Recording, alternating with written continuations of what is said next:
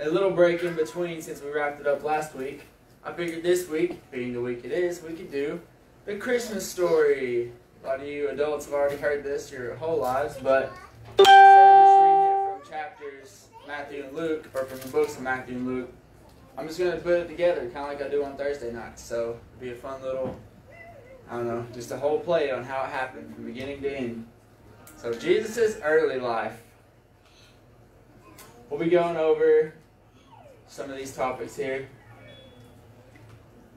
So Jesus' early life, if you want to know about this biblically, it's in Matthew 1 through 3 or Luke chapter 1 through 3, but it starts at 26 in Luke when you're going through. So first things first, a long time ago, he was promised. So Jesus' story doesn't just start in these chapters, it starts way back in the Old Testament. A whole bunch of different prophecies and scriptures that have words foretelling of a Savior coming. This is just a few from Isaiah. Therefore the Lord himself shall give you a sign. Behold, a virgin shall conceive and bear a son, and shall call his name Emmanuel. Butter and honey shall he eat, that he may know to refuse the evil and choose the good. So this is talking about Jesus when he was born Emmanuel, meaning God with us, and choose the good when he was tempted to Satan, which was like his first thing before his ministry started and everything, and he chose good rather than all of the evil. Isaiah 9, 6, For unto us a child is born, unto us a son is given, and the government shall be upon his shoulder, and his name shall be called Wonderful, Counselor, the Mighty God, the Everlasting Father, the Prince of Peace. Isaiah 60, Arise, shine, for thy light is come, and the glory of the Lord is risen upon thee.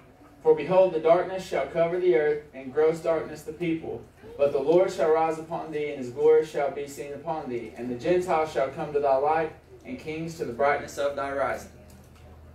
In Micah 5, But thou, Bethlehem Ephraim, though thou be little amongst the thousands of Judah, yet out of thee shall he come forth unto me that is to be the ruler in Israel, whose goings forth have been told from old, from everlasting. So this is even, he's saying, look, we've been saying this a long time.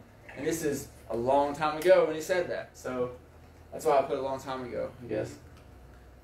So who remembers the story of Abraham? he had a son named Isaac, and God was like, hey, Abraham, listen, I know this is weird, but I need you to kill your son, Isaac. So he's like, well, that is weird, God, but you know, you are God. I'll listen to you. I'll obey you. Took him up to the mountain to sacrifice him. And then God was like, okay, hold up.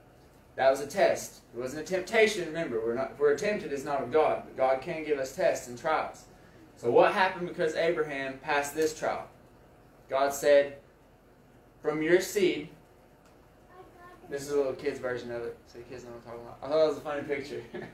it's just a, a kid about to kill a kid. Anyway, so so that in blessing I will bless thee, and in multiplying I will multiply thy seed as the stars of heaven.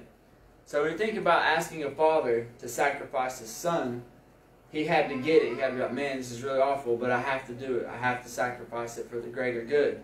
This was a test for God because he was about to sacrifice his son, finding a worthy seed line to willing to sacrifice their son. It's kind of one and the same, but one's a human, one's a divine aspect.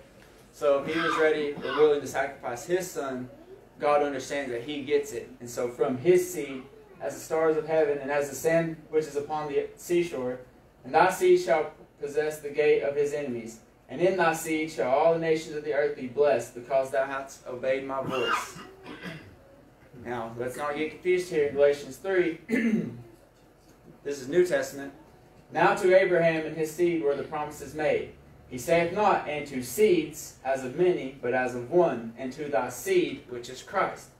And if ye be Christ, then ye are Abraham's seed, and heirs according to the promise. So, that leads way to the begats. Anybody ever read those? Mm-hmm. The begats. Gary likes them, told everybody to check it out, but you get down through the begats, and this is them tracing their lineage all the way from Abraham, down from Isaac, all the way you know, we can sit here and read all of them, but it's quite a bit. And to Eliab begat Eleazar, Eleazar begat Mathan, Matthan begat Jacob, and Jacob begat Joseph, the husband of Mary, of whom was born Jesus, who is called Christ. So from Abraham's seed to Isaac's seed, all the way down all those begats, through Solomon, through King David, eventually it got to Joseph, the husband of Mary, who was the direct descendant of Abraham, and which is Christ's father. So all the generations from Abraham to David are 14 generations. From David until the carrying away into Babylon are 14 generations. And from the carrying away into Babylon, Christ are 14 generations. Now the birth of Jesus Christ was on the wise, when as his mother Mary was espoused to Joseph before they came together, she was found with the child of the Holy Ghost. So we go from Abraham willing to sacrifice, so God chose him to do a similar sacrifice what he was about to do. We get down to where Jesus is born. Entered the angel Gabriel. So one day I guess they were just hanging out. I don't really know what they were doing, but Gabriel appeared. And he appeared first unto Mary. I don't know if he appeared first unto Mary, but he appeared unto Mary right about the same time. So Luke 1, 26. And in the sixth month, the angel Gabriel was sent from God unto a city of Galilee named Nazareth. You know, I just kind of noticed something right there. The sixth month. What's the Jewish six months? Probably the same, right? June. So that's, that's pretty. It happened in summer. In the story of Christmas, you hear this happen. It's not happening in the winter over there, but so six months. Gabriel was sent from God into a city of Galilee named Nazareth to a virgin espoused to a man whose name was Joseph of the house of David, and the virgin's name was Mary. And the angel came unto her and said, Hail, thou that art highly favored, the Lord is with thee, blessed art thou among women. And when she saw him, she was troubled at this saying, and cast in her mind what manner of salutation this be. The angel said unto her, Fear not, Mary, for thou hast found favor with God. And behold, thou shalt conceive in thy womb, and bring forth a son, and shall call his name Jesus. He shall be great, shall be called the Son of the Highest, and the Lord God shall give unto him the throne of his father David. He shall reign over the house of Jacob forever, and of his kingdom there shall be no end. Then said Mary unto the angel, How shall this be, seeing I know not a man? And the angel answered unto her, The Holy Ghost shall come upon thee, and the power of highest shall. Cut that off a little bit. The Holy Ghost shall come upon thee, and the power of the highest shall overshadow thee. Therefore also, that holy thing which shall be born of thee shall be called the Son of God. Mary has Jesus. So this is the angel appearing Mary. I don't know what it looked like, probably something like this. Might have been scary too. Now enter Joseph. So all this is happening to Mary, and imagine being a husband, your wife just comes up to you and starts saying all this stuff to you. You're gonna be like, okay, something crazy is happening. So a little bit of divine intervention had to come to Joseph too. So let's go to Matthew 1, 18. Now the birth of Jesus was on the wise, when as his mother Mary was espoused to Joseph before they came together, she was found with child of the Holy Ghost. Then Joseph, her husband, being a just man and not willing to make her a public example, was minded to put her away privily. And if you track this back, it goes to Deuteronomy where Moses said, write a bill of divorcement if she is unfaithful. So he was like, well, she's pregnant, my wife's unfaithful. Probably, I don't want to like embarrass her in front of everybody, but I'm going to go about writing this bill of divorcement because can't be having childs out of wedlock and stuff. But while he thought on these things, behold, the angel of the Lord appeared unto him in a dream, saying, Joseph, thou son of David, fear not to take unto thee Mary thy wife, for that which is conceived of her is of the Holy Ghost. She shall bring forth a son, and thou shalt call his name Jesus, for he shall save the people from their sins.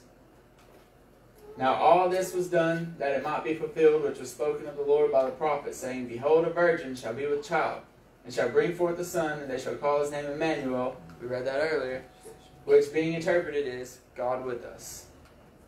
Then Joseph, being raised from sleep, did as the angel of the Lord had bidden him, and took unto him his wife, and knew her not until she had brought forth her firstborn son, and he called his name Jesus. So, this is the angel appearing to Joseph. Again, I don't know what it looks like. We just got some good drawings. I like this one though. I think it's from the same artist because kind of similar tones, but the angel's just poking poking him with a stick. I don't know why, but I thought that was the funniest picture I found. Hey, wake up. I gotta tell you something. So, to Bethlehem. Look how cool that is. That's Bethlehem right now. Isn't that sweet? All these ancient replicas, ancient cities. That's what it looks like now, modern day. Walking through the streets. I always thought those looked really cool. But Bethlehem's just right below Jerusalem where everything's happening, and then you get up to the northeast, and that's where Israel is today. Uh, Church of the Nativity, right between the Dead Sea. You guys get it. Luke 2. And it came to pass in those days that there went out a decree from Caesar Augustus that all the world should be taxed. And this tax was first made when Cyrenius was governor of Syria. So Rome had pretty much conquered everybody at this point, and That was very expensive to do, so they would tax everybody every year. And all went to be taxed, everyone in his own city should be delivered. What happened there? So Joseph also went up from Galilee out of the city of Nazareth unto Judea, unto the city of David, which is called Bethlehem, because he was of the house lineage of David. So they all had to go back to their home city, their home country, to pay these taxes, because it was very hard to track. You know, they didn't have internet, they didn't have tracking systems.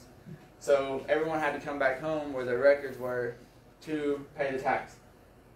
To be taxed with Mary, his espoused wife, being great with child. And so it was that while they were there, the days were accomplished that she should be delivered. So, of course, worst timing ever, he had to go back to the city with his greatly pregnant wife. I guess that means eight, nine months, you know, ready to pop. And she gets down there, and now she goes into labor while they're there in the city. The birth. So, Jesus is born there. And she brought forth her firstborn son, and wrapped him in swaddling clothing, and laid him in a manger, because there was no room for them in the inn because the town was probably pretty packed. Everybody that lived there to come back to pay taxes all had to swarm this little city. So probably wasn't a lot of places for people to stay. And there were in the same country shepherds abiding in the field, keeping watch over their flock by night. And lo, the angel of the Lord came upon them, and the glory of the Lord shone round them, and they were sore afraid. And the angel said unto them, Fear not, for behold, I bring you good tidings of great joy, which shall be to all people. For unto you is born this day in the city of David a Savior, which is Christ the Lord. And this shall be a sign unto you. Ye shall find the babe wrapped in swaddling clothes, lying in a manger. And suddenly there was with the angel a multitude of heavenly hosts, praising God, and saying, Glory to God in the highest, and on earth peace, goodwill towards men. So, we all know the nativity scenes in our head. There's Jesus, he's in the manger, and some shepherds come and see him. So imagine us being chilling out in the field, which isn't, they don't also do in winter, so it's how you kind of know it wasn't exactly this time of year. But, and then just a big light, like an alien thing. So what we would imagine is a great light and an angel shone before him and said, hey, go check this out. We need witnesses and everything. So then, having just seen a great, powerful angel, was like, okay, we're going to go. So then we get to the birth with these people, the wise men. So Matthew 2. Now when Jesus was born in Bethlehem of Judea in the days of Herod the king, behold, there came wise men from the east to Jerusalem saying, Where is he that is born King of the Jews? For we have seen his star in the east, and are come to worship him. So now you have the wise men coming up, three wise men. It never really said how long it took them to get there. I don't know if he was still a baby when that happened, but it's right in the same thing. When they would come to the house, they saw the young child with the Mary his mother, and fell down and worshipped him. And when they had opened their treasures, they presented to him gifts gold, frankincense, and myrrh. So here we have the three gifts I don't think he was actually in gold bars though, but you know he brought him some gold. We all know what gold is. So frankincense. Everybody ever smelled frankincense before? No. Nobody's ever smelled it. If they come out like they got scents and stuff, I'll get some kind of like I did with the other thing. They're putting in deodorant and all that stuff. I thought you said smoked. Smoked frankincense? I would not advise smoking frankincense. so you can smell it. That's what I was saying. So it is used as an incense, kind of like uh, you know the essential oils that have all that. And myrrh. Now, you can drink myrrh, and if you drink wine, wine mingled with myrrh, it is kind of a painkiller and dilutant. However, it is also used as you know smells. So don't drink it. Jesus refused it, so you should too, right? But that's what the Roman soldiers used to drink out at night when it's super cold. They weren't having a good time. They would drink wine mingled with myrrh so they could, you know, take the edge off a little bit. But I don't think they brought it to Jesus for that purpose. It is also used as an incense or used in perfumes and stuff like that. And so now we can go on Amazon, type in frankincense and myrrh, and order it. it comes to our door in the form of oil, rocks like this, or any kind of minerals. But back then, really hard to find. And then once you found it, it's plants. So it's really hard to make that out of plants back in the day too. So these were very good gifts, very prestigious gifts, worthy of Jesus. So best they had. But you know who else also liked gold, frankincense, and myrrh? This guy, King Herod. So around this time when Jesus was born, he was the one that actually sent the wise men. They came to him first, but he kind of put them on a mission he wasn't about somebody to come in and take his throne or the prophecy being fulfilled while he was the one on the seat. So Matthew 2. When Herod had heard these things, he was troubled, and all Jerusalem with him. And when he had gathered all the chief priests and scribes of people together, he demanded of them Christ be born. And they said unto him, In Bethlehem of Judea, for thus it is written by the prophet Israel. And thou, Bethlehem, in the land of Judea, art not the least among the princes of Judah. For out of thee shall come a governor that shall rule my people Israel. So again, it said there comes a governor. He was a governor at the time. He didn't know what was about to happen. He was about to be taken over prophetically or what, but he didn't want to lose his power. So then Herod, when he had privily called the wise men, inquired of them diligently what time the star appeared. And he sent them to Bethlehem and said, Go and search diligently for the young child. And when ye have found him, bring me word again, that I may come and worship him also. So he's kind of setting up a trap. He's like, Hey, I want to come worship this guy too. So you guys go out and find him. When you find him, come tell me where he's at, so I can go down there and bring my gifts, go gold, frankincense, and myrrh, and death. He's going to do some bad stuff. So when they had heard the king, they departed, and lo, the star, which they saw in the east, went before them, till, till it came and stood over where the young child was. When they saw the star, they rejoiced exceedingly with great joy. And being warned of God in a dream that they should not return to Herod, they went to their own country another way. They didn't leave the same way they came in. That's a pretty good tactic if you're ever being followed or don't want anybody to come on your trail. So, God warned them in a dream. Like, hey, Herod's tricking you guys. He's setting you guys up to deliver the location of Jesus so he can come in with his people and kill him because he wants to keep power. So, I'm glad you guys are here, but don't go back and tell Herod, and they did it. So then Herod, when he saw that he was mocked of the wise men, was exceedingly wroth, and sent forth and slew all the children that were in Bethlehem. So because he just couldn't find the one single location of Jesus, he just took the buckshot approach, the scorched earth approach. Like, look, we're just going to kill every baby then, because I'm not losing my power. Can you imagine? Okay, I was in the army, and there's a lot of people I know is in the military in some form. You guys even, imagine you were in the military. What if President Trump, Biden, whoever, both of them, let's say they were like, all right, listen, man, Florida's being weird. We're going to go kill all the children three years and under in Florida. Are you going to do it? There's no way I would do that. I wouldn't kill any. If they told me to do that to babies in Afghanistan, I wouldn't even do it. I'd be like, no, I'm not going to kill a bunch of babies. But back then, I don't understand. They were like, okay, cool, we'll just go kill all the babies then. I don't know. I guess they paid them a lot or imported foreigners to do it. Something. Something weird had to happen. But in all the coast thereof, from two years old and under. So every child two years old and under in that area, Herod sent to be killed. And according to the time which he had diligently inquired of the wise men.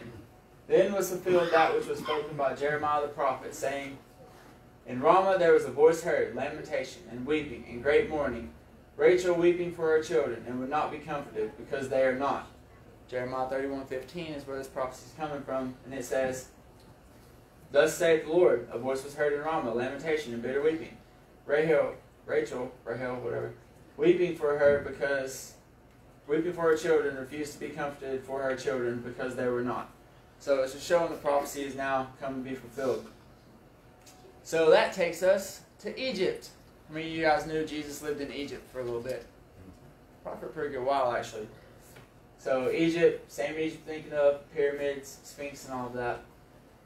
And that is 429 miles away, just in case you guys ever decide you want to walk that.